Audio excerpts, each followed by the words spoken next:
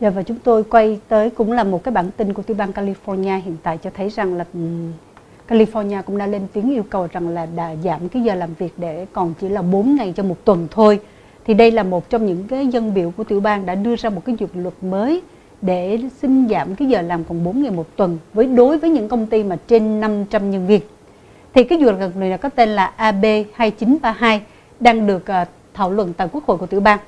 thì dự, dự luật không có yêu cầu phải loại bỏ cái tuần làm việc là phải đủ 40 tiếng một tuần mà chỉ yêu cầu rằng công ty công ty phải trả là overtime cho nhân viên sau là 32 tiếng coi như là trả overtime 8 tiếng.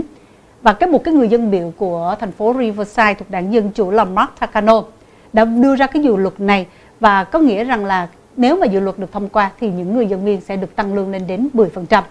và những cái nhóm cấp tiến gồm có 100 thành viên tại Quốc hội cũng đã ủng hộ, ủng hộ cho cái dự luật của ông à, Takano này.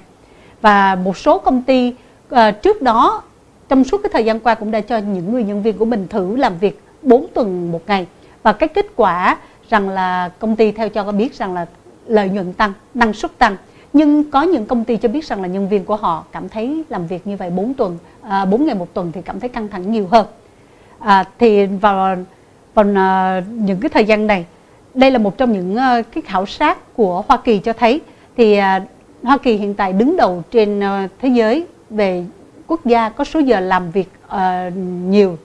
về một năm. Và người Hoa Kỳ cũng ít có thời gian chăm sóc bản thân hơn cũng như là ít có thời gian để mà có thể giải trí và so với những cái quốc gia khác. Giống như là tại đây là một cái công ty công nghệ được thành lập ở thành phố San Francisco là Both